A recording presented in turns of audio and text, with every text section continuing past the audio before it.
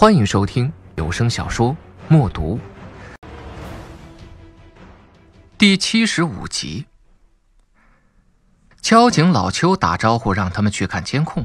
哎，你要说这个事儿到底有没有什么内情，那就得你们查了啊。反正如果让我看，这就是一起后车全责的交通事故。这辆宾利就是周俊茂的车，从机场出来一路行驶正常，司机开车也挺规矩的，这都没问题。肇事大货从北元桥进来，我们从北元桥路口那个监控开始编号，编成一号。老邱把高速上密密麻麻的摄像头按照编号排好，挨个放给他们。当时机场高速这方向车辆不多，从第四号监控开始，大货车就跟宾利开在同一个车道里，两车中间曾有过几次其他车辆都先后超车过去了。走到十六号监控这儿，这辆大货和前车之间就没什么了。但是车距还是挺安全的。然后你看，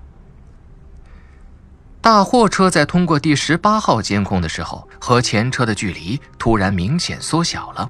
再仔细一看，发现它非常均匀的在加速，好像司机踩在油门上的脚忘了拿了下来。通过二十号监控，测速摄像头显示，大货车的速度已经接近每小时一百四十公里，明显超过限速。随后，那个货车司机就跟瞎了一样，以这个速度狠狠地追了前车的尾。第二十一号监控完整地拍到了追尾的全过程，当时那一撞非常惨烈，即使是心有准备，看的人胸口还是咯噔一下。骆文洲问道：“肇事司机人呢？死了，没送医院就断气儿了。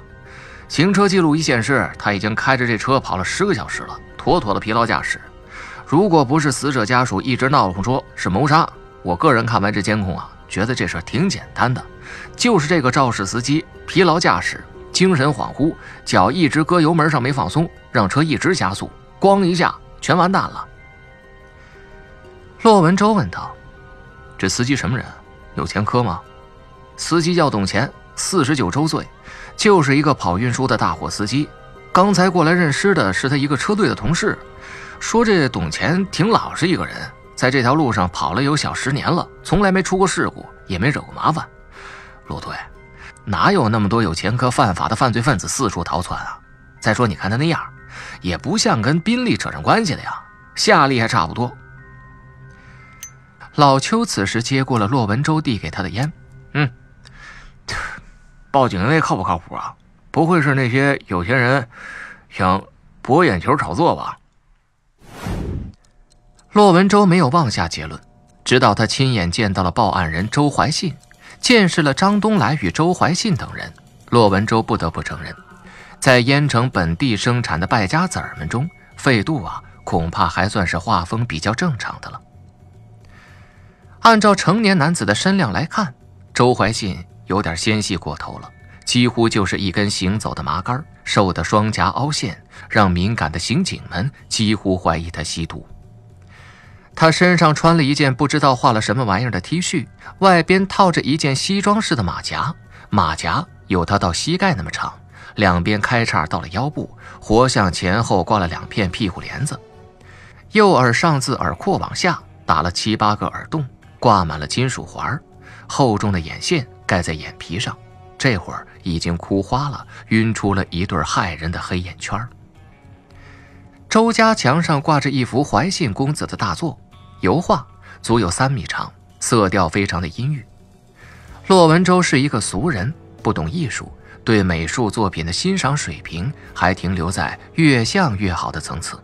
然而，即使是这样，他见到这幅画的时候，仍然有一种难以忍受的窒息感。那幅画色泽暗淡，线条狂乱，乍一看好像是常见的暴风骤雨主题，可是仔细一看，画布的左上角竟然是个太阳。那些铁锈一样的红褐色线条描绘的原来不是风雨，而是光线。血色的光线下面画了大片的芦苇，所有的植物都低垂着头，死气沉沉的东倒西歪着。几具面朝画布之外的人形骸骨若隐若现其中。盯着这幅画看了良久，简直让人觉得反胃。洛文周压低了声音问费度：“我呢，有点跟不上你们这种潮流。小周少爷这幅大作，表达了什么思想感情？”费度看了他两眼，大概是线条的颜色太像血了，他有些不舒服的移开视线。我要是没记错的话，他这幅画应该是在一处海滩别墅完成的，几个名模趴在沙滩上，给他当人体模特，应该就是。那几个骨架的原型。原来这幅画的主题是红颜白骨，色即是空。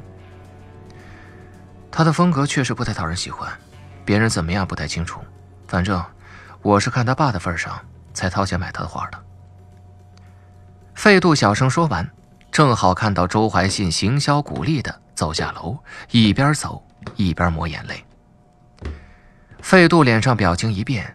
幻化出了一个完美的忧心忡忡，他走上前去关怀道：“没事吧，周兄？”周怀信乍一见到熟人，满心的委屈几乎要从眼眶里边钻出来，颤颤巍巍的叫了一声“费爷”。他像一个巨型乳燕投林似的，一头撞进了费度的怀里。一股闻起来像痱子粉一样的香水味扑面而来，浓烈的顺着人的鼻腔往上涌。呛得骆文周偏着头打了个喷嚏。费度被周怀信扑得往后退了半步，板正了肩给他靠，手却虚虚的落在一边，并不主动和对方有身体接触，绅士出了一点正人君子般的风度。他对着周怀信低声劝慰几句，然后抬起一条胳膊给他扶，缓缓地把周怀信引到一边坐下。周怀信抽抽泣泣地问：“你怎么会来？”“我在念书啊，被导师派到市局实习。”直到这个时候，周怀信才留意到旁边有几个陌生人。他弯腰从桌上抽了一沓纸巾，一边打哭嗝，一边说道：“你们，你们是警察吗？费爷，你，你练了一个什么玩意儿啊？爱好真他妈小众，不行。”我心脏疼，你给我靠一靠。周怀信像是一条没有骨头的软体动物，毫不客气的就靠近了费度的怀里。骆文周莫名的看他不顺眼，在旁边公事公办的开了口：“据说你执意不相信周先生的车祸是意外事故，请问这件事情有什么依据吗？”周怀信吃力的抬起沉重的眼皮。我爸爸每天坚持健身，春天还去跑过马拉松，他不可能就这么突然没了，肯定是有人想害他。跟在旁边做笔录的郎乔忍不住插嘴道：“嗯，小周先生，我知道呢，你可能是一时接受不了现实，但是周老先生是死于车祸事故，别说是马拉松了，就是铁人三项也没有预防车祸的功能啊。”周怀信要死了似的哽咽一声。仿佛廊桥是一个迫害小公主的大眼巫婆。费度轻声说道：“周兄啊，这个是不能当证据的。”周怀信哇的一声哭了出来：“你也不相信我吗？我的直觉是最准的。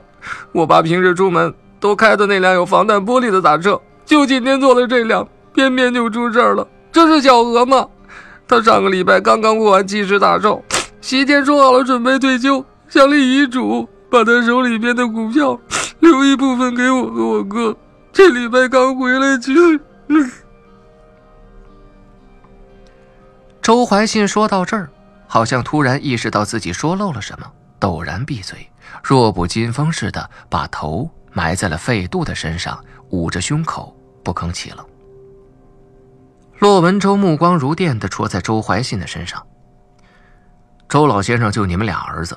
就算不立遗嘱，他的财产将来也是你们兄弟俩的。为什么你认为会成为他被杀的理由呢？小周先生，我知道你难受，但是既然报了案，就请严肃对待。那个，你能坐起来说话吗？我不知道，我只管画画，不懂家里边那些事儿。你们找我大哥去说去，反正我给他打过电话了，他明天一早就赶回来。周怀信抬手捂着脸。避开骆文舟的目光，汽车那么大一个凶器，比刀枪致死比打多了。满大街都是合法的拿着凶器的人，沾了人命，只靠不是故意的事故就能盖过去吗？你们管不管事儿了？说话者好似无意，但是听者却都有心。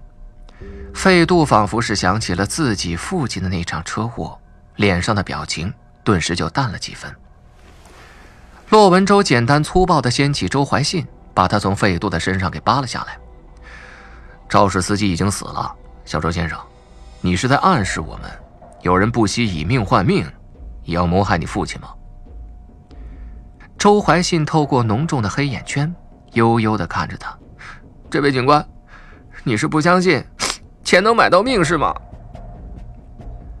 骆文周他们跟周怀信纠缠了将近一个小时，也不知道这个人是真的脑残还是装孙子。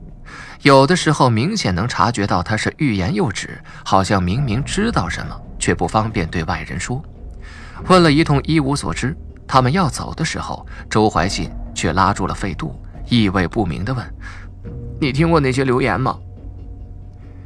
费度递给骆文舟一个眼神，回手拍了拍周怀信的肩膀：“别多想了。”周怀信不肯松手，小声说道：“你能陪我等我大哥回来吗？”费度还没来得及说话，骆文舟就已经代他做出了回答：“别磨蹭了，晚上还得打报告呢。”实习生。费度对周怀信做了一个爱莫能助的手势，随即被骆文舟揪住了肩膀，一把推出门外：“快点儿！”费渡脚下踉跄了半步，被骆文舟连催带赶的回到了公务车里，并不以为意，嘴角依然挂着笑意。廊桥瞪着大眼睛，小声问道：“呃，费总，那个周什么的蛇精，是不是对你有意思啊？”“没有，就是空虚寂寞冷。”廊桥恍然大悟，痛心疾首的感慨道：“你们这些纨绔啊，糜烂呢！”骆文周甩上车门，一抬手把他们俩给扒拉开，伸手一点廊桥。你要是有人家那么多的雄性激素，也不至于嫁不出去。费多，周怀信遮遮掩掩不肯说的，到底什么事儿啊？江湖谣言啊，德高望重的周老先生有一个私生子。为什么是江湖谣言啊？因为我反正不大相信。费度伸长了腿，在地方宽敞的副驾驶上伸了一个懒腰，这个动作让他那好学生的伪装微微露出些破绽。一点很费度的漫不经心冒出头来。要是真有这么一个人的话，周家早就回来认了。反正，骆文周直觉他后边说的话呀，准不是什么好话，已经做好了打断他的准备。但是却听见费度似乎是想起什么似的，自行把话音给打住了。廊桥不明所以追问：“反正什么啊？”反正周老这个人，持身一向比较正。就算是早年私德有亏，应该也就那么一次。这几十年他做过不少的公益，也算是浪子回头。他的夫人已经亡故多年，应该也不会再有人说什么。人无完人嘛，犯过错再回头，不是显得更加可贵吗？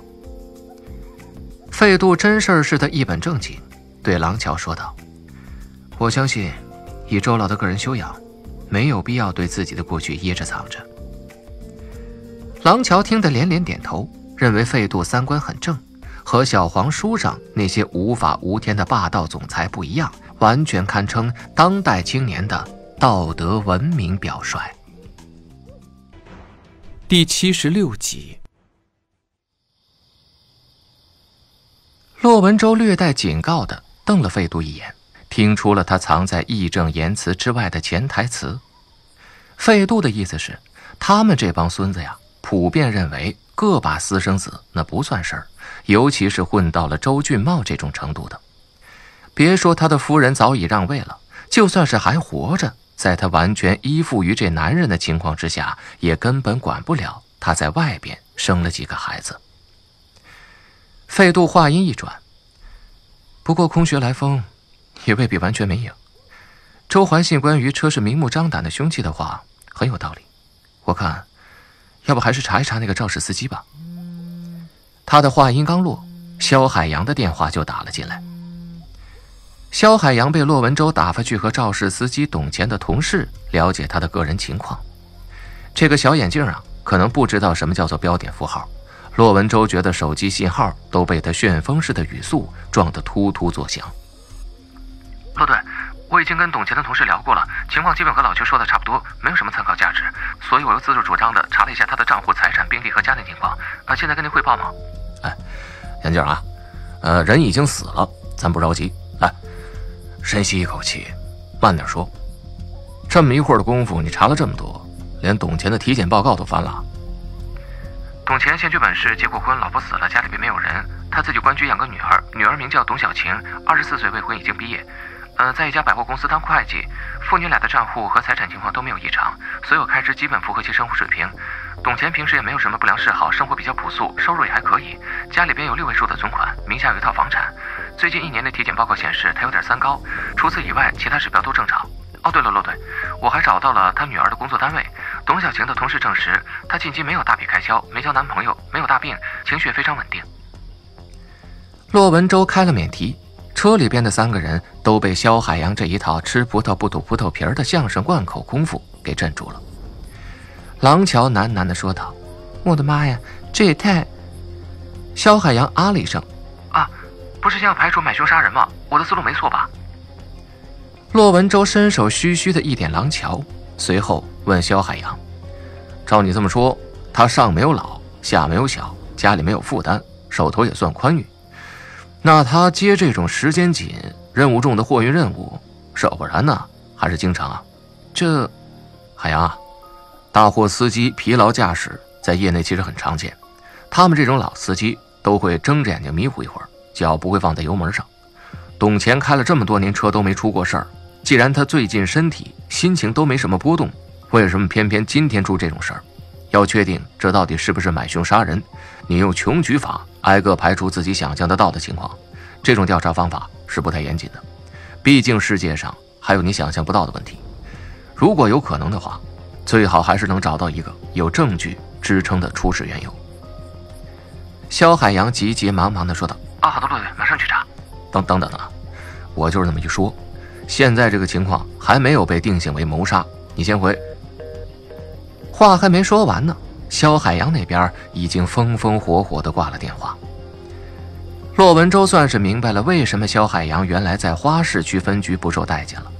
除了这个小眼镜特别不会聊天以外，光是这种随时准备篡位夺权一般的工作热情，在王洪亮等人眼里。那就是一个极大的安全隐患，怪不得他们压根就没想过要把此人纳入自己的范畴。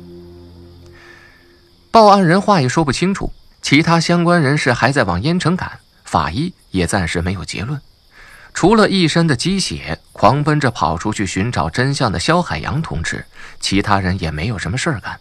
骆文洲就地解散了临时调查小组，他没让廊桥回去再值班。把他送到家门口，然后和费度一起回了市局，换自己的车回家。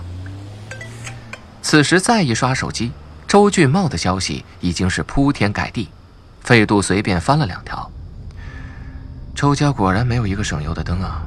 趁美股还没收盘，我现在叫人做空周氏，是不是太不厚道了？路口掉头的地方略微有些堵车，骆文周疑惑地看了他一眼：“你是说那个周怀信啊？”不是他，还能有谁这么快买到头条啊？你听这条：周氏集团董事长周俊茂遭遇车祸身亡，事件蹊跷，疑另有隐情，次子已报警。怎么样，唯恐天下不乱吧？周俊茂这种人，就算是正常死亡，大家也都会自己想象一出豪门恩怨，何况是真的出事故呢？周怀信是周老的财产继承人之一，现在恰好只有他一个人在国内。如果他不第一时间哭着喊着报警求救，要求彻查，那么别人会给他安排一个什么角色呢？毕竟，人人都认为马尔康和道纳本杀死了他们仁慈的父亲。前方的车流尾灯像是一条长龙，首尾无边。骆文洲假装没听出费度这句话是在影射他自己，若无其事地问道：“这周怀信和周老爷子父子关系怎么样？”不孝子，边缘人，跟整个周氏格格不入。上面有十项全能的大哥作比，还能怎么样呢？想想也知道关系非常紧张。那你呢？据我所知，你青少年时期没干过什么出格的事儿，又是独子一个，怎么你也和你父亲紧张啊？费度先是一愣，随后他转向了骆文舟。骆队对我兴趣这么大吗？不过，听说按照我国社交的潜规则。人们只有在考虑把对方当做潜在配偶的时候，才会刨根问底、查户口的呀。他说着，侧过身，略微朝骆文舟靠近一点。你确定你想知道吗？那可不行，你得先跟我签一个以身相许的意向书。正好前面的车子往前蹭了一点，骆文舟一脚油门，把车子踩得窜了出去，随后又一脚急刹车。咣当一下子，把费度震回到了副驾驶的椅背上。不想谈就说不想谈，少跟我来这套。费度笑了起来，果然不再说话。两个人彼此沉默了一会儿，路口的红绿灯转了一个轮回，掉头车道里边车流再次停下来，恐怕呀还要等下一次机会。不耐烦的司机在四周此起彼伏按着喇叭，偶尔有人拉下车窗。透露出车里品味各异的音乐。费度脸上的笑容渐渐消失，也许是因为夜色浓郁，也许是因为拥挤的人群之中那种特有的孤独感。他忽然开口说道：“有的时候，我发现，一个人是很难挣脱自身的血统和成长环境的。”洛文舟看了他一眼。观念、习惯、性格、气质。道德水平、文化修养，这些可以后天改变的东西，就像是植物的枝叶，只要你愿意，你可以把自己往任何方向修剪。费度靠在椅背上，半眯着眼睛，望向烟城的夜空。但是更深层次、更本质的东西，却很难改变。就是在你对这个世界还没有什么概念的时候，最早从成长环境里边接触过的东西，因为这些东西。会沉淀在你的潜意识里，你心里边每一个通过母语获得的抽象概念里，都藏着他们的蛛丝马迹，你自己意识不到，但是，它却会笼罩你一生。费度说到这里，好像已经尽了自己最大的努力，他心里边有一扇门，门板厚遇千钧，门轴已经锈迹斑斑。使出浑身解数，也只能推开这么一小条缝。骆文舟耐心地等了好一会儿，他却没有再往下说。手机能借我一下吗，骆队？随着他的这句预告，骆文舟全身的神经元下意识地集体跑到了自己垂在一侧的手上，随后费度十分轻缓地附上他的手臂，那手指修长而冷峻，手心却是热的。没费多大力气，随时给他撤退的机会。难以形容的感觉顺着骆文舟的右手蜿蜒向上，车里边的温度也陡然上升了至少两摄氏度。骆文舟小臂的肌肉下意识的紧绷了，可是他却莫名的没有抽回手。费度低着头，小心翼翼地扣住他的手，那个模样。让骆文舟想起半夜被噩梦惊醒，跑来蹭他枕头的洛伊锅。后边的车不耐烦的鸣笛，骆文舟机灵一下，这才发现已经变灯。费度一瞬间的脆弱，像是蒸汽一样悄然消失在空中。他桃花眼尾轻轻一翘，飞快地揣起骆文舟的手，在他的手背上亲了一下。骆文舟猛地抽回手：“你找抽吧。”哎呀，不好意思啊，实在不好意思。骆队魅力太强大了，一不小心就得寸进尺了。骆文舟被他给气笑了。费度这小子呀，真是十八般武艺，七十二番套路。他一边加速开过好不容易才穿过的路口，一边冷冷地说道：“费度，我是不是太惯着你了？”费度察言观色，觉得自己撩过头了，因此他有张有弛地闭了嘴。没有火上浇油，在骆文舟暴躁的东钻西钻里，拉紧了车门上的门幅，一路腾云驾雾的贴地飞回了市局。骆文周把公车停好，脸色微沉的示意费渡滚下车。我可没有朝熟人下手的习惯，欠干，找你那些爱画小骷髅的酒肉朋友去。说完，他甩上车门，转身走了。费渡一个人在公务车里，就着难闻的车载香薰，独自品尝了一会儿骆文周遗留的气急败坏。肖海洋一路小跑的赶到医院，远远的看到目标人物。他一边跑一边拿出证件，冲一个失魂落魄的女孩亮了出来：“董小晴吗？你好，我是。”董小晴冰冷冷的目光打断了他的话：“警察，我知道，你不是跑到我单位去调查了吗？怎么，查不出什么又来审我了？”肖海洋为人有些木讷，一时不知道该怎么接这话，有些慌张的清了清嗓子，十分讨人嫌的说道。呃，我只是稍微了解了一些情况。董小晴倔强地瞪着他，肖海洋不会绕弯，想不出怎么缓和气氛，干脆他就直抒胸臆，硬问：“呃，董谦平时接的都是这种任务重的活吗？据我所知，你们家，我们家没有欠高利贷，家里边没有人得绝症，我爸爸也不是还不起钱的烂赌鬼，我们穷归穷，过得挺好的，不需要为一点臭钱去杀人。”董小晴一把抓起旁边的手机，热闹的话题在网络上发酵，流言蜚语朝着孤身一人的女孩张开了血盆大口。他猛地把手机砸在了肖海洋的身上。我爸爸出事故是他的错，他的责任需要赔多少钱我来承担，不够我可以去借。这辈子就算当牛做马，我也能还上。但是你们不能凭空的这么污蔑他，他已经死了，没有嘴可以替自己辨认。你们非得沾着人血吃馒头吗？